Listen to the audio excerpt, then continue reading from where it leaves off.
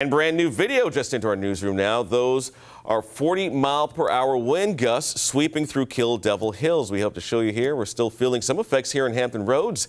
So here's meteorologist Tim Pandajis with uh, more on the uh, gloomy weather for all parts of Hampton Roads because of the storm. That's right. Maria is just about 150 miles to our east, the closest it'll be before it starts moving east and offshore but it's bringing gusty winds. You know, we have overwash down in NC-12. Yeah. Tidal flooding going to be a problem this morning's high tide and this afternoon, and also a few showers thrown in the mix there as well as on top of the uh, coastal erosion we're already seeing. There's satellite imagery. A lot of the strongest side of the storm off to the east. You see the brighter cloud tops there. That's where all the thunderstorm activity is. We're just really left with some remnant showers and some gusty winds on the western side of the storm. Right now, about 145 miles east of Cape Hatteras. Winds still at 70 miles per hour sustained, so below her hurricane force, but it's still a strong gray tropical storm. Moves north for about the next 8 to 12 hours before it takes a hard right-hand turn off to the east. That's thanks to an incoming cold front that's going to deliver some of the coolest air we've seen in quite some time, struggling to make it to 70 by this upcoming weekend. We were looking at radar earlier that had a few showers, but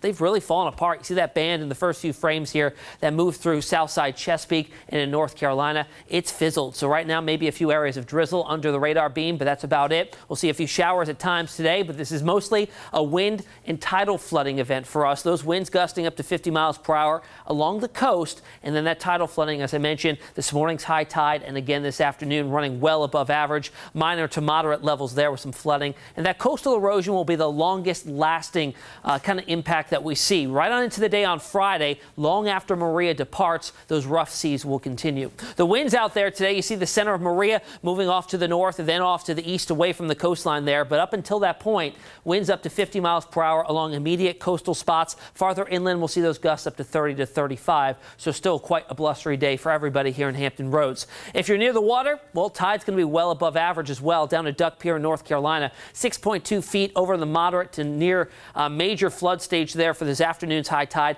not only at Duck, but really throughout the entire Outer Banks and even pushing northwards into Virginia. Sewell's Point, we'll see those numbers climbing above normal up to around 4.1 by early tomorrow morning. But this afternoon's high tide looking to be the highest, uh, just under five feet, which is minor flood stage for you. 76 degrees out the door this morning, but that dew point right behind it. So it's very, very muggy out there, despite our winds coming in out of the north, which is normally a pretty dry and cool flow for us. Not the case this morning. We're seeing those wind gusts up to around 30 miles per hour recently in Fentress. Uh, farther south, slightly higher, 33 recently in Manteo, 31 in Currituck, and they're going to get a little bit stronger throughout, throughout the day today. Here's how it looks on Futurecast. A lot of clouds today, windy conditions, and an isolated shower too will top out around 80. But tonight, those clouds move east as well as Maria, and we'll start to see skies clear on out. Tomorrow, more of a northwesterly flow, so the humidity should be mostly out of here, but still a warm day up to around 80. It's not until Thursday night into Friday, we really start to feel the push of that much cooler air building on in.